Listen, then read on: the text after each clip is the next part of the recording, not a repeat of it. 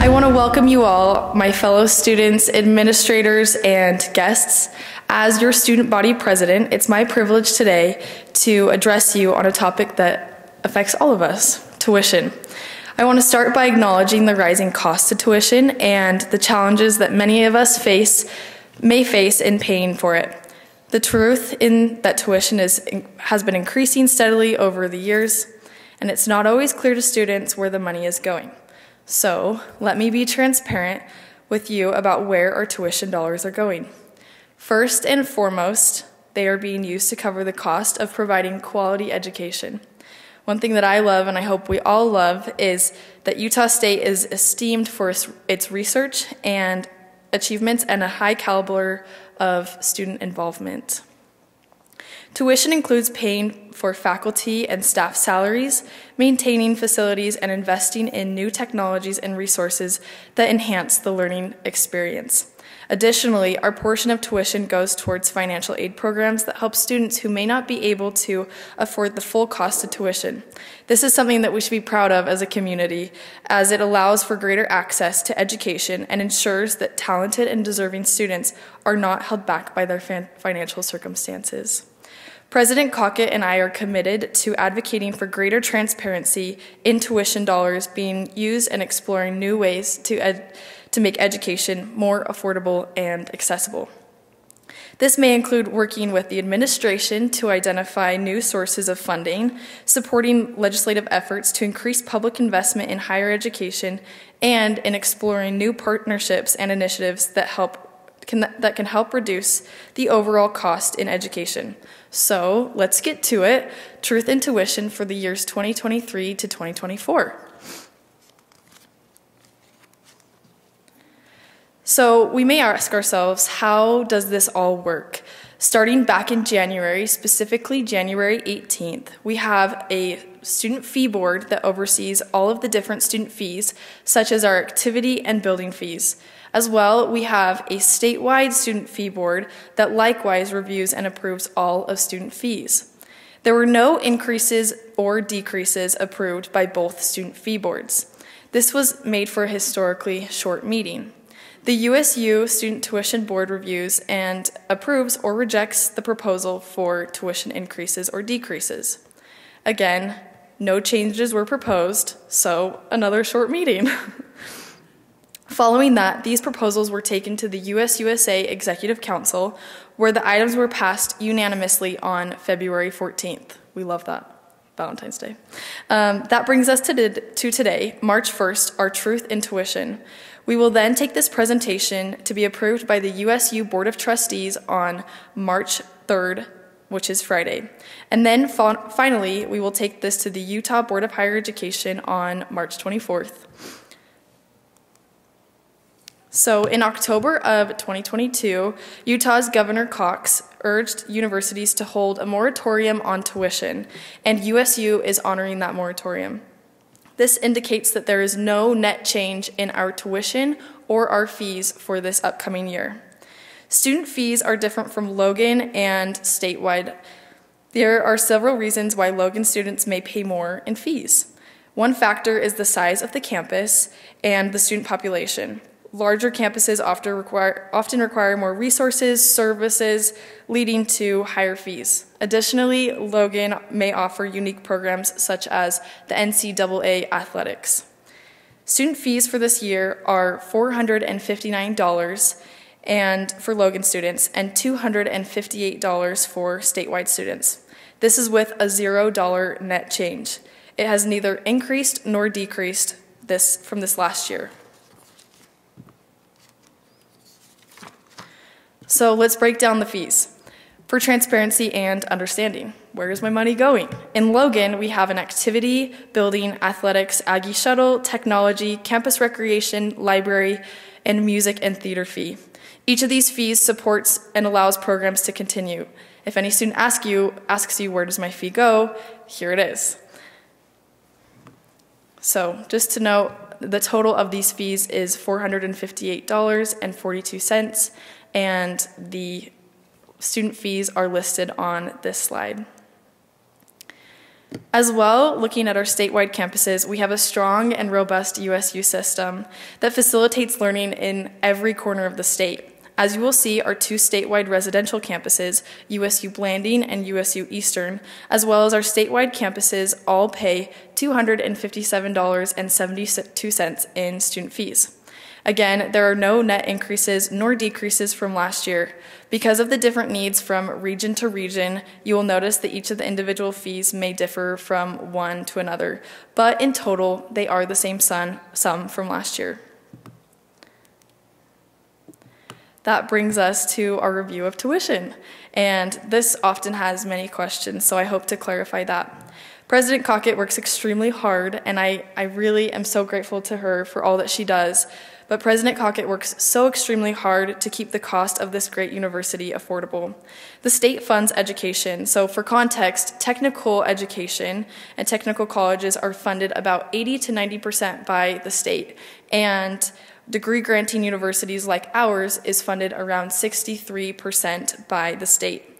Additionally, there are higher education salary compensation raises, which are covered 75% from the state, and the other 25% comes from universities and most likely from the students and tuition. Typically, this impacts our tuition, and specifically last year, this mandated salary compensation was the reason for an increase in tuition costs for the year of 2022. Again, there are no changes in tuition, so the tuition on statewide campuses is $2,067 for a resident student, and for a non resident student, the tuition cost is $5,955. So, in total, here are the tuition and fees for a Logan resident student, a Logan non resident student, and a statewide resident student, as well as a statewide non resident student. Additionally, we have an Eastern, Moab, and Blanding student taking less than or equal amount of 65 credits. Their tuition and their fees, as well as the net tuition and student fees proposals um, approved for this year, which is $0, which equals to be the same as last year. It makes for nice math in being able to just add zero. That's like the math that I like to do. So I'm it's beneficial that we've been able to do that and work alongside with Governor Cox and his moratorium on tuition. So I just want to emphasize that the cost of tuition is a very complex issue. It requires a multifaceted approach and I'm confident that working together as a university community, we will find creative solutions to make education more affordable and accessible for all. I'm extremely grateful again for President Cockett's guidance and leadership in ensuring that the students' best interests, best interest is the pinnacle of focus in regards to tuition. So I would now like to turn the time over to Brian Warnick, who is the department head for technical education and will continue the conversation for tuition this year. Thank you.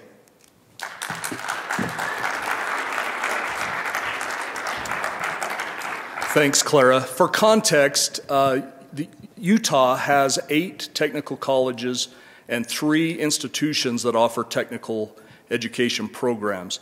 USU serves as the technical college, similar to Bridgerland or Davis Tech or Mountain Lands, for southeastern Utah. Uh, we do have technical education programs that are one semester and two semester certificates, and they are supported, as Clara mentioned, heavily by the state. So the tuition rate is, is significantly lower. Over the past two years, under the direction of the U- Utah Board of Higher Education and the Commissioner of Higher Education's office, we've been working to align all of the technical colleges and the technical programs at the three institutions that offer technical uh, education programs so that they're aligned.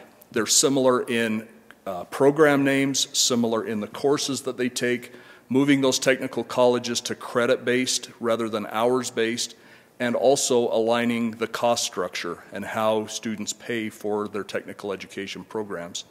We were working on this in September. Uh, looking at making an alignment, and then in October, as Clara mentioned, the governor uh, asked for this uh, moratorium. So we worked hard to align the cost structure of technical education programs at USU while holding the overall cost of these programs uh, neutral. So there, there's no overall net increase to those programs. So I want to emphasize that. Uh, so again, this, this only impacts, what I'm about to, to share with you, only impacts our technical education certificate programs at USU Blanding, USU Moab, and USU Eastern. Uh, so we, we, again, we work to level those, those cost programs. This was the tuition table for technical education programs, is the tuition table for this current year, and you can see it's, it's quite complex. Each program, in addition to a tuition of $67.50, a student fee of $15, and uh, in addition to those two, they also had program fees. Part of this adjustment will remove the program fee, and you can see that each of those programs, as we list down there, those program fees vary. And uh, some of those are quite expensive. If you look at heavy equipment operator on there, it's $4,000 just for the program fee because we have to maintain equipment and fuel for those, those pieces of equipment and that sort of thing. Uh, another one is the commercial driver's license was also high, and we'll talk about those two programs specifically. So what we've had to do, based on in, in working with uh, with USHE and the commissioner's office, is rearrange those pots of money so that they're similar at all of these institutions. Notice that the coins on those scales, they're the same number, they're just in different locations. So we had a lot of program fees and a smaller tuition amount. We will have a couple of programs that we're requesting, and, and we, we have initial approval from the State Board of Higher Ed uh, to uh, charge a differential tuition on commercial driver's license and our heavy equipment programs because they're expensive. There will be a few course fees for high, for high expense programs such as cosmetology, and the tuition will raise, there, you'll see in just a minute, there will be a, an increase to tuition, but those program fees all go away. In the end, there's no cost difference for students. Uh, and that we want to emphasize that. Everything will be held net revenue neutral. So here's in summary what happens. Tuition will be increased from 67.50 per credit to $95 per credit. I know those of you who are uh, pursuing four-year degrees are looking at those numbers and thinking that you wish your tuition was that level.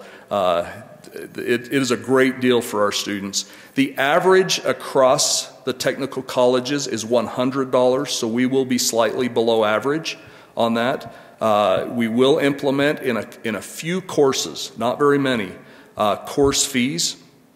The student fees will decrease from $15 to $3. We've talked to our associate vice presidents in Price, Moab, and Blanding, and uh, we, we will still be able to provide access for students to things like counseling and psychological services, the library, uh, those types of things with that fee. And the big thing is eliminating those program fees. So again, uh, we will balance, all of this will be balanced net revenue neutral. And uh, we will, as, as, mentioned on that last bullet point, we will be pursuing uh, differential tuition for CDL and heavy equipment. Uh, so here's the overall uh, cost you can see per credit, uh, and it is per credit. There is no tuition plateau for technical education programs. There's also no difference between resident and non-resident tuition for technical education programs. They are all the same. Uh, and so you can see that $95 is what we're going to from 67.50, reducing that student fee. And so um, there is, a, you know, an increase if you look just at the tuition, but it, once those program fees are eliminated, uh, that changes. Here's an example. This is commercial driver's license, so you can see how this works out. Uh, the tuition uh, will increase from $1,147.50 to $1,615 in the upcoming year. The student fee will decrease from 255 to 51. The program fee of $2,255 will be completely eliminated. Differential tuition will take about half of that uh, additional program fee, uh, so $1,000, or the eliminated program fee and then we will have some course fees. Notice that differential tuition is only for the six credits of the basic behind the wheel training uh, for uh, the CDL. The additional courses for the additional endorsements will have some course fees. In the end, notice that bottom line, The overall cost for those students taking commercial driver's license is actually 50 cents lower than it was uh, for this current year. And that's, uh, that's my presentation. I'm going to turn it over to President Cockett to sum things up and to answer questions.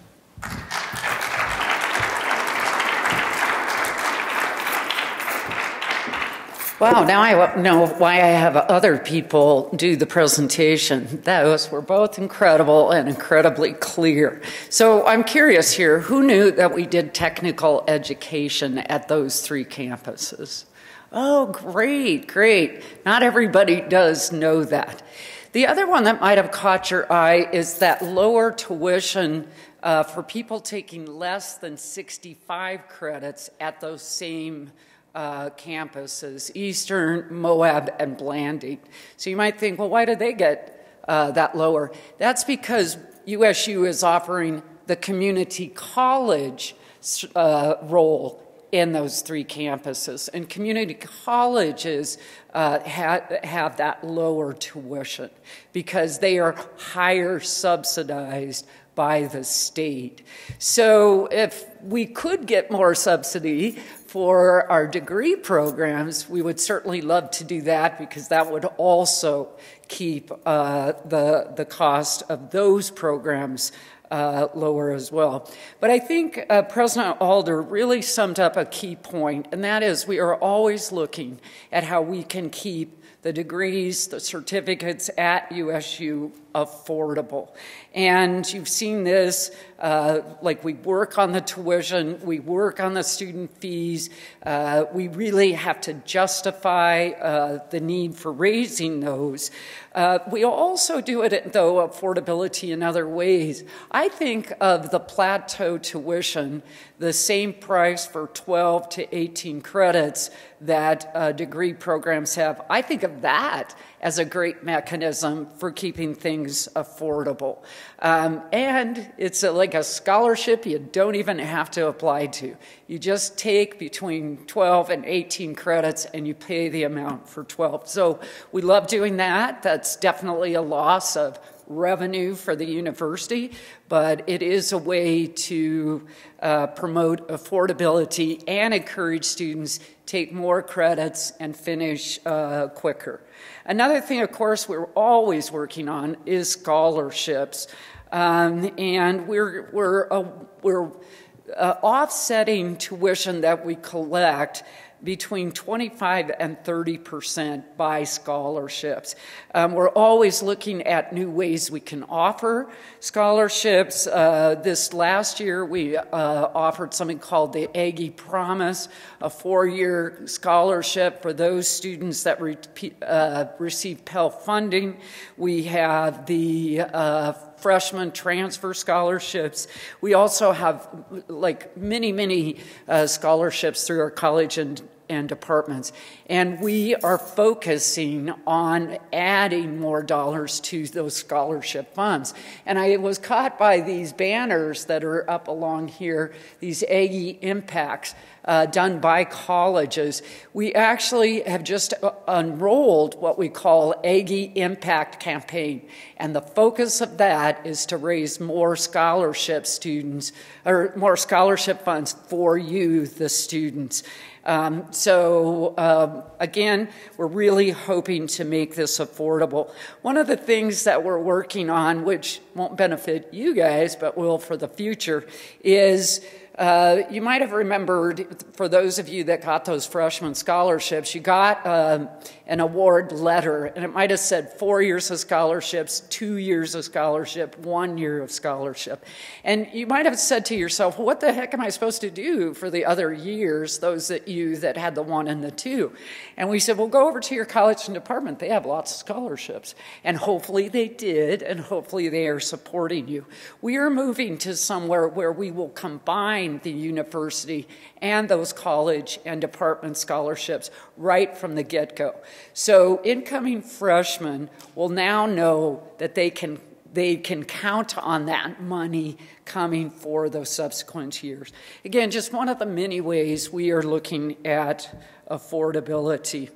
Um, I also, um, just for sake of putting too much on these slides, we have our graduate student senator here. Raise your hand. And she was newly reelected. Congratulations.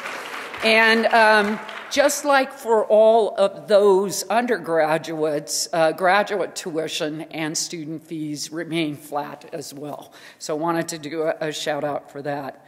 Um, now, um, uh, I will tell you that we do have a bit of a complication this year, and that is, as Clara mentioned, President Alder, we've been using the tuition increase to pay for 25% of the salary increases that the state gives us uh, for. Uh, for our staff and faculty.